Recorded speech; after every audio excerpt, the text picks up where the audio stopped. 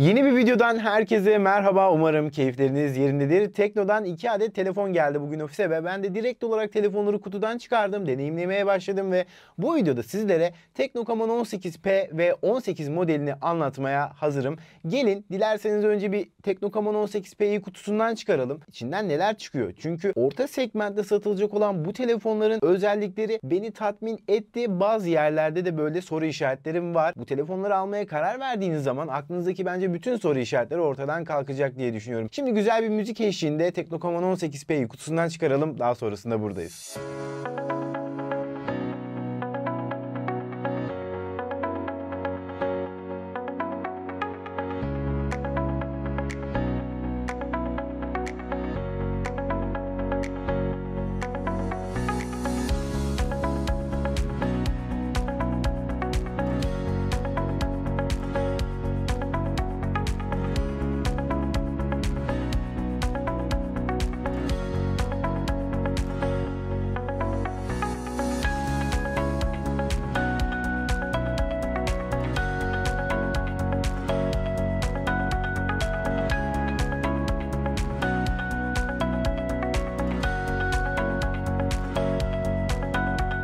Şimdi kutu içeriğini gördünüz. Kutu içeriği beni tatmin etti. Niye? Çünkü bir kılıfımız var. 33 wattlık hızlı şarj adaptörümüz var. Bir kablolu kulaklık görebiliyoruz. Oyun oynuyorsanız ve gecikmeden rahatsız oluyorsanız 3.5 mm'lik jack girişine kablolu kulaklığı takıyorsunuz ve güzel bir oyun deneyimi elde edebiliyorsunuz. Bu arada detaylar kısmında şu an kulaklığın yapısını da görebiliyorsunuz arkadaşlar. Ben kulaklığı sevdim. Kullandığımı da belirteyim. Ama çok çok iyi bir ses kalitesi var mı? Hayır yok. Onu da sizlere belirteyim. Şimdi geçelim tasarım kısmına. İlk olarak arka tarafa bakmak istiyorum burada. Bu arka kapak parlak ve mat arkadaşlar onu sizlere belirteyim. Ayrıca parmak izi de fazla bırakmıyor. Ama şöyle bir eleştirim olacak. Burada çizilmelere maruz kalan bir arka kapaktan bahsediyorum. Teknokamon yazımızı görebiliyoruz. Üçlü kamera dizilimimiz bulunmakta. Şu anda elimde siyah renk bulunmakta. Siz dilerseniz diğer renk seçeneklerine de göz atabilirsiniz. Bu arada Tekno'nun internet sitesine girdiğinizde Camon serisine tıklıyorsunuz ve her bütçeye uygun telefonları görebiliyorsunuz. Biliyorsunuz daha önce Tekno'nun Phantom ve Spark modellerini de incelemiştik demiştik. Aslında bu politikaları gerçekten çok iyi. Her bütçeye uygun telefon üretiyorlar. Tasarımdan devam edelim. Alt kısma baktığımız zaman burada bir tip C girişimizi, 3.5 mm'lik jack girişini ve mikrofonu görebiliyoruz. Burada bir stereo ses deneyimi yerine mono bir hoparlör kullanılmış arkadaşlar. Aralarında pek fark var mı? Elbette ki olacak. Çünkü stereo ses deneyimi çok çok daha iyi. Sağ tarafa baktığımız zaman güç butonunu görebiliyoruz. Ayrıca güç butonun üzerinde parmak izi okuyucusu bulunmakta. Detaylarda da zaten parmak izi açılış testini gördüğünüz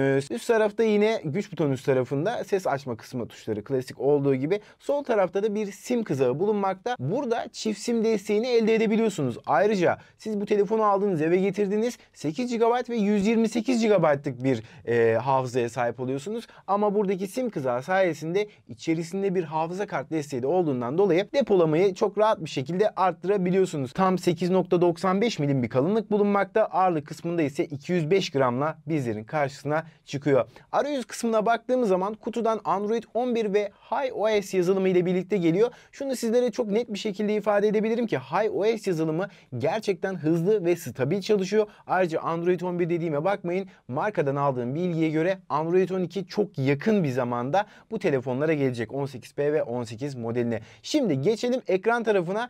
Ekranda beni gerçekten mutlu eden detaylar var. 120 Hz'lik bir ekranı burada görebiliyoruz ve bu 120 Hz'lik ekranda gerçekten göz sağlığı için çok önemli. Ayrıca tabii oyunlar için de çok önemli. Ama burada eleştirdiğim tek kısım bu ekranın IPS olması. Tabii AMOLED ekranlar veya OLED ekranları biz telefonlarda gördüğümüz zaman fiyatlar bir hayli fazla olabiliyor. O nedenle Tekno'nun bu politikası da şu şekilde ilerliyor. Ben daha iyi telefonlar da üretiyorum ama orta segment bir telefon ürettiğim zaman bazı ekranlara işte IPS koyuyorum vesaire. Aslında bunu çoğu marka yapıyor. Çünkü maliyetten kıstığınız zaman ne oluyor? Daha uygun bir fiyata satılıyor. O nedenle kullanıcılar Tekno'nun diğer telefonlarına da baktığı zaman AMOLED ekranlı böyle daha iyi işlemcili telefonlarını da görebiliyorlar arkadaşlar. Şimdi geçelim buradaki ekran çözünürlüğümüze. Tam 1080'e 2400 Full HD Plus bir ekranla bizlerin karşısına çıkıyor. Ekran boyutumuz gayet yeterli. 6.8 inçlik bir ekranımız bulunmakta. Buradaki ekran parlaklığımız ise tam 500 nite kadar ulaşabiliyor. 500 nit çok çok iyi bir değer değil arkadaşlar. Haberiniz olsun güneşli ortamlarda telefonu kullandım.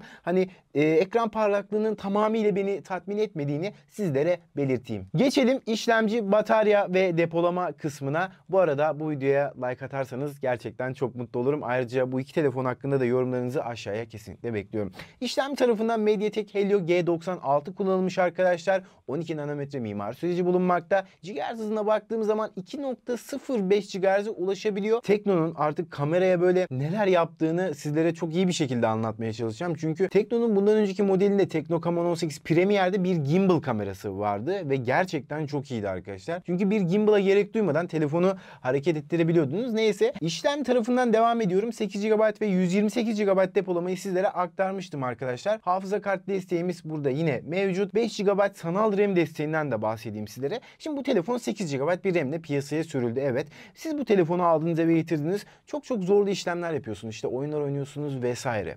Memory Fusion sayesinde RAM'inizi 5 GB daha arttırabiliyorsunuz. Bu da sizlere nasıl bir fayda sağlıyor? Daha akıcı bir arayüz ve daha iyi bir oyun deneyimine burada ulaşabiliyorsunuz. RAM'iniz 8 GB artı 5 daha ekliyorsunuz ve 13 GB'lık RAM'e ulaşabiliyorsunuz. Şimdi sizlerle birlikte gelin bir bu telefonun testlerine bakalım. Kendi telefonunuzda bir kıyaslayın. Daha sonrasında bir oyun performansına bakalım. Daha sonrasında buradayız dostlar.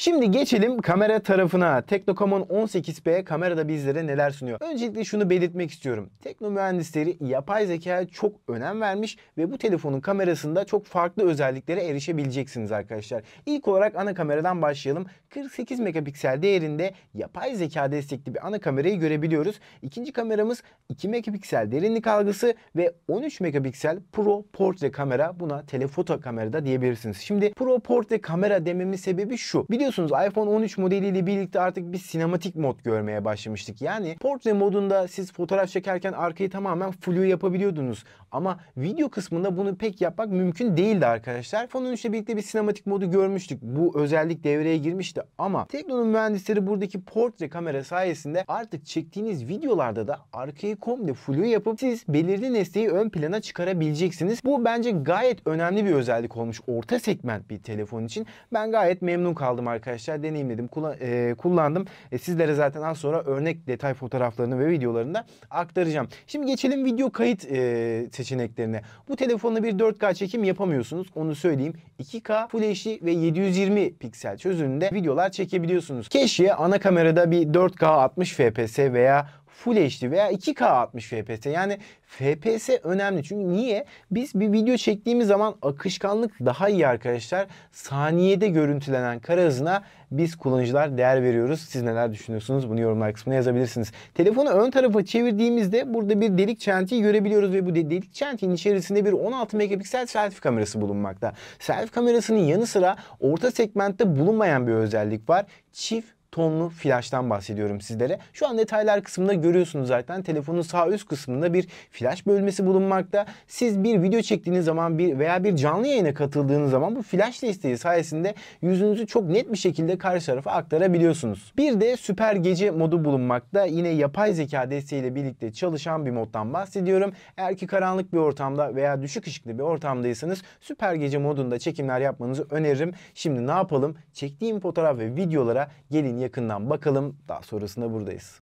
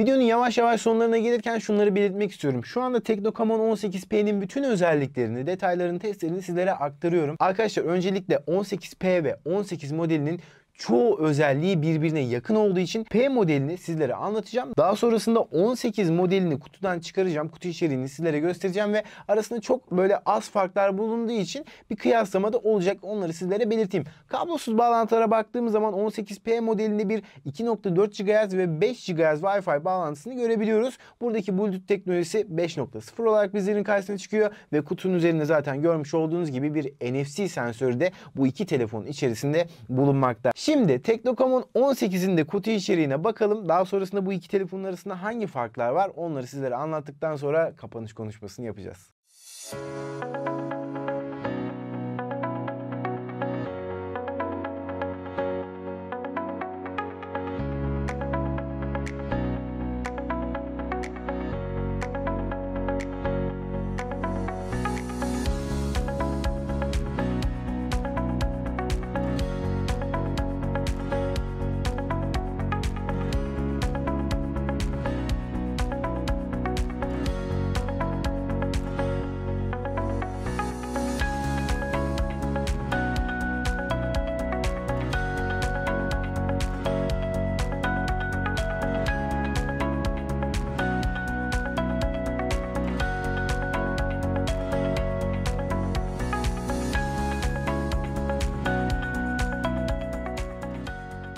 Evet geldik iki telefonun buluşma anına. Şimdi sizlere şöyle göstereceğim hangisi Teknokamon 18P veya 18 diyebilirsiniz. Şuradan anlıyorum ben. Şurada bir çizgi var arkadaşlar. Teknokamon 18P bu telefon. Şu anda elimde tuttuğum modelde Teknokamon 18. Şimdi tasarıma baktığım zaman aslında arada çok bir fark yok. Sadece Kamon 18 modelinin arka kapağın parlak bir yüzeyden e, oluştuğunu ve parmak izinin bıraktığını sizlere belirtmek istiyorum. Aralarındaki ekran değeri aynı. Sadece ekranda 18 18 modelinde 90 Hz'lik bir tazeleme oranı bulunmakta. İşlemci kısmında 18P e, modelinde MediaTek Helio G96 var. Bu arkadaşlar MediaTek Helio G88 bulunmakta. Kamera tarafında da çok çok az farklar bulunmakta. Tabii fiyat olarak birbirinden ayrışıyor arkadaşlar. İki telefonun da fiyatını şu an ekranlara verdim. Neler düşünüyorsunuz? Bunu lütfen yorumlar kısmına yazabilirsiniz. Dediğim gibi aralarında pek fark yok. Zaten farkları sizlere anlattım. Hangisini alırdınız, tercih ederdiniz? Lütfen yorumlar kısmına yazabilirsiniz. Bu videoda Videodan benden bu kadar. Umarım video hoşunuza gitmiştir. Vaktiniz varsa iki tane daha video gelecek. Benden bu kadar. Kaçtım ben. Kendinize iyi bakın.